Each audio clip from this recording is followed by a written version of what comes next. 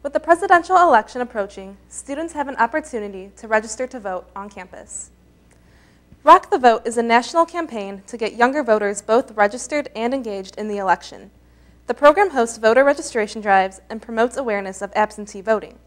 Coordinator of MC's Rock the Vote, Lily Anderson, wants to get as many people as possible to register to vote. A couple years ago, we had tried to register students to vote in Warren County and were denied um, the ability to. And so we really um, raised some awareness, and now we're, you know, we've had over probably about 150 students um, register to vote. So. Nationally, over 21 years, Rock the Vote has registered more than 5 million young people to vote.